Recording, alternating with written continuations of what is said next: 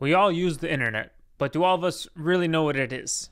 Spoiler alert, this is the internet. That's right, it's literally just a bunch of cables. And the cloud that you keep hearing about is literally just more cables. Let's go a little deeper. My favorite definition that I found about what the internet actually is is a network of networks. We're going to dive into throughout the rest of this video about what that actually means, but I want to start off with an example. The example I'm going to be showing is just sending a regular email. So the email is obviously created within a computer. That computer is connected using an Ethernet cable to your router. We're going to label routers R. For those that don't know what Ethernet is, this is what the cable looks like. These type of cables are usually Cat5 or Cat6 cables, and they're usually made of copper and they send little electric pulses. Now, modern technology is moving towards these cables. These are fiber optic cables. They're very similar to the copper cables, which send electrical pulses, but instead of electrical pulses, they send pulses of light. But now, before we go even further, maybe we should cover what exactly is an email and how does it get sent using these wires. So within this email, you might send something like hey to someone. In computer language, that hey gets transformed to ones and zeros. This is called binary. And binary is how these actual pulses mean something to the computers. So back to this graph, we're sending ones and zeros here. When you're sending it across a network, this thing is called a packet. A packet is just a special word for some more ones and zeros, but the special thing it has, it has some destination information at the beginning. This is also going to be ones and zeros so that the pulses can actually transmit this information, but it tells basically where this piece of information needs to go. And that's where this next piece comes in, the router. So we all probably have a router at home. If we're using the internet right now, we have to have a router pretty much. And a router, just like it sounds, routes those packets to where they need to go. And within your house, you have a specific wire that you got to plug that router in in order for you to have information. So this specific wire right here is provided by what is called your ISP or Internet Service Provider. So let's set up this little wall. On the left side is your home, and on the right side is anything outside your home. So inside the home, you have you, and you give your money to the ISP, which in return gives you this cable right here. So this cable is your internet. Now there can be more and more layers of these ISPs. There's local ISPs, there's regional ISPs, and then there's global ISPs. And those bigger global and regional ISPs are called the internet backbone. That is just bigger and bigger wires that the internet runs on. Just to give you a little visual of what exactly that looks like. So this is the internet backbone of the United States. So these are all cables running across the whole United States of America and they connect your internet within the state. Then there are the global ISPs, which connect the countries and the whole globe together. So these are huge, huge wires running on the floor of the ocean, connecting countries together with internet. And that's how the internet infrastructure is held up. But the scary thing is for countries like this that only have one wire running to them, if something happens, maybe a shark bites it, which actually happened before, the shark didn't actually do anything, didn't cause any damage. But there's stuff like ships running their anchors over the wires and breaking them. You could lose internet for days at a time and have no way to contact anybody. So that's the internet backbone. And now you do the same exact thing in order to get to the other person's computer or phone or whatever. You go through their ISP, you go through their router, and into their computer where they get that email and they can open it and then these this packet gets decoded by your browser and gets turned into the message, hey. Now I might be thinking, what about phones? You might understand how the Ethernet cable connects to everything, but how does a phone get to the internet? It doesn't have any physical connections anywhere. So a phone works in a very similar way. You could think of a phone as more like a like a radio. It sends out little radio waves and it can connect to cell towers just like that. It uses a thing called frequency modulation. So let's say you got that same email that you want to send with your phone. Instead of going through an Ethernet cable into a router into the ISP, it goes from your phone to a cell tower. And remember, we're doing the same thing. We're sending the same email, same message. So we're sending that hey email, and the data again gets converted into ones and zeros to be able to be transmitted. But how does it get from the phone to the actual cell tower? Well, we said frequency modulation. So it uses radio waves, and these radio waves could look like something like this. So frequency modulation means they send different frequencies for different types of bits.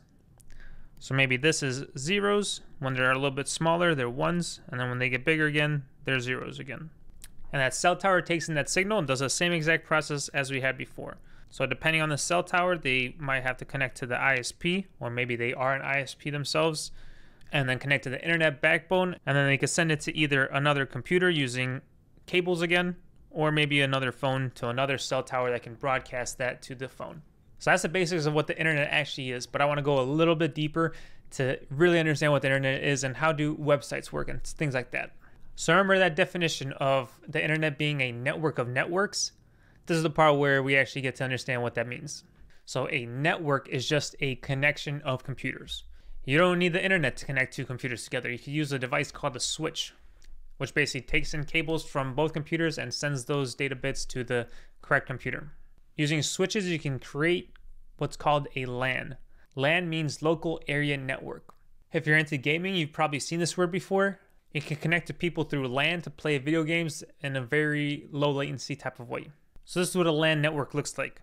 In this LAN network, we have two computers, both connected to each other by a switch. Now that switch connects to a router, which then connects to the ISP, which then connects to the global ISPs and everything like that. So here we haven't really done anything that we haven't learned here before, except maybe expanded a little bit more of where this actual email comes from. So we said a network is a connection of computers. So as we can see, this is a connection of two computers. And the internet is the network of these connections. Now I hope you can imagine that this chart gets a lot bigger with a lot of other different networks being connected to each other. So basically this whole thing, that's the internet. Every device that's connected to each other in the whole world is the internet. So the term connecting to the internet is literally just connecting to a computer that's not within your network or somewhere else in the world. Any computer that's outside of this LAN, if you're connecting to it, that means you're connecting to the internet. So we expanded a little bit around on this part of what where the actual email comes from, but I want to expand on the rest of this graph and what each part of these looks like. And then at the end, we're going to go over what exactly means to connect to a website. So like we mentioned before, router is pretty self-explanatory, but there's a reason I want to dive a little bit deeper. A router has these things called a router table. So within the router, there's this thing called a routing table, and this basically determines where your packets get sent to, where they get routed to. Now there's complex algorithms within there that we won't really get into, but they handle to make sure that your packet gets sent through the most efficient way and uses some complex algorithms for congestion control to make sure nothing gets like too packed up. And basically defines a route for where your packets need to be sent in order to get to the actual person that it needs to get to. So now let's take a look at what the ISP looks like. And for this one, we're actually going to cover the ISP and the backbone. In the grand scheme of things, both of these look exactly the same, just on different scales. So these ISPs and backbones are pretty much just more routers. So this whole infrastructure is built upon routers basically determining which is the most efficient way to send your packets. The ISPs, of course, route a little bit less, and then the backbone routes a lot more. So if we're saying this is the ISP, you get the data from your router. It goes to the accepting router of the ISP, figures out where this message needs to go next. Maybe it's down here, then here, then here, then here, and then out to the backbone or whatever other routers needs to go to. And at each stage, at each one of these stages, we're using the routing table to determine which path it actually needs to take. Now you might be wondering, why is there not just one big router everywhere? And Why is there a whole cluster of routers? So I live in Illinois. I don't know if I'll be able to draw it right. It looks something like this, right? And we have a company called Comcast that runs it pretty much everywhere. So if they just had one router right there, everybody would need to connect to that router from the whole entire Illinois. But if you have routers more spread out and more of them, you can not only get faster internet, but be able to find the most efficient path for everybody to go through. And the biggest thing is that there's no single point of failure. Let me explain some more. So the big thing is there's no single point of failure. Let's use this graph up here. So let's say this router goes out and maybe even this big router over here goes out you're still able to get that message using this route right here. So that's two big routers going out, not working. The internet is still working in general.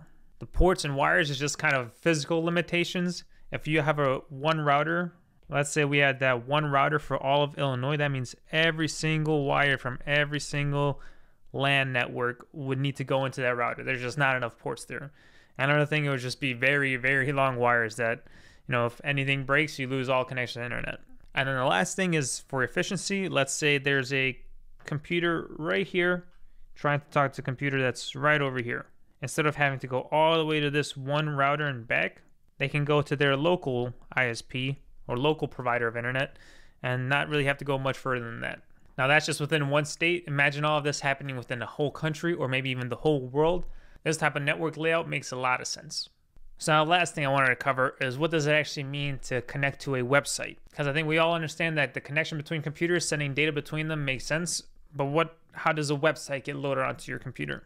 So I copied the previous chart we had down here because you'll notice it's exactly the same thing. So let's say we're using this computer right over here and this computer wants to go to google.com. So you go to your browser, you type in google.com. The browser recognizes that as an IP address. So an IP address you could think of very similar to a home address. It's the way to identify a computer that it's that computer. Your computer requests to see the information at this IP. So that request goes through the whole process until it gets to this LAN network. Now, this is what we call a server. What is a server? It's just a big computer. so, this specific server that we're connecting to holds data for google.com or for that search result you're looking to find. Once it gets that data, it returns it back to you using the same way, and it usually returns HTML files or something like that. The information the actual browser receives is ones and zeros, but it's able to figure out what that actually means and turn it, make it look pretty. So if you've ever worked with websites or made your own, you've probably heard the term of hosting your website. What this actually means is putting your website onto a server, and the hosting part of it is basically holding that website data for you. This way, you don't need to build up a whole bunch of servers in your house or very expensive computers to be able to run 24 7 so people could actually access your website. Companies provide hosting services for you. They have a bunch of computers running all the time so that people can access your website whenever they want. Now, Google, since it's such a big company, probably has servers all over the world so that they can be connected to quickly and efficiently. While small companies, if they're doing their own servers instead of using a hosting service, they might only have one server location in the world. And in order for you to connect to that you need to go all the way across to their part of the world and come back. But as companies get bigger and bigger and scale more and more especially for things like youtube which google owns by the way they have servers all over the place. And this way they can minimize that distance that the data gets to travel and thus the websites are faster and people can get their information quicker so that's a very high level of how the internet works. Learning about this made me realize how crazy this world actually is that all this stuff just works all the time and it's it's just a bunch of cables. It's really all it is. Let me know if you want to know more about this topic or if you have any other questions. And there should be a video on the screen if you want to learn about more cool stuff like this